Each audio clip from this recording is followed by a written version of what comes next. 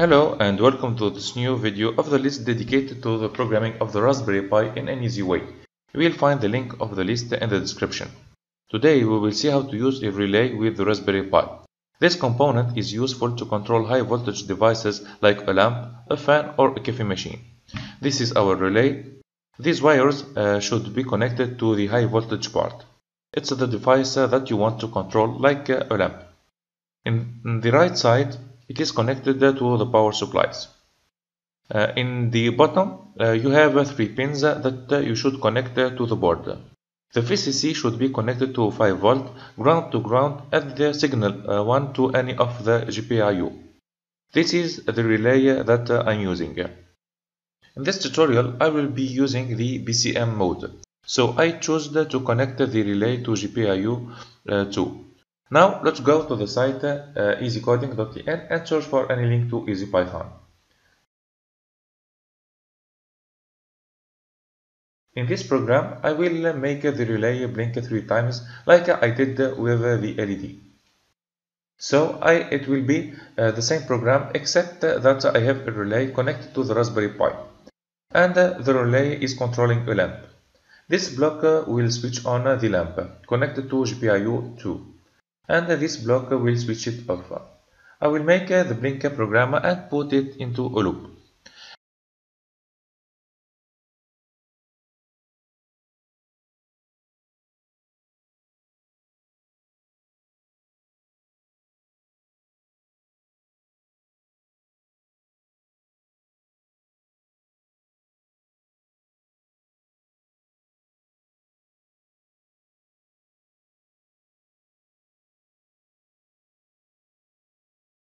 And here we are. We can now upload the, the program and see the result.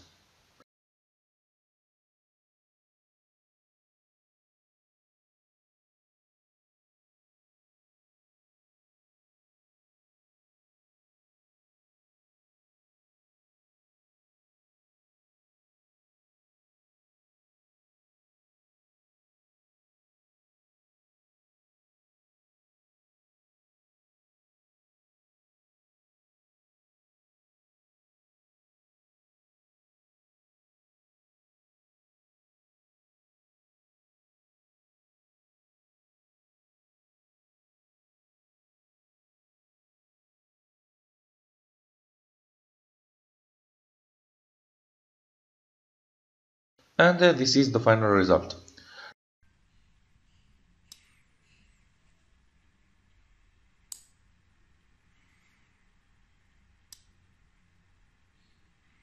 Now you are ready to go to the next video where you will learn how to control these objects uh, remotely. I hope that you liked the video and see you soon. Bye.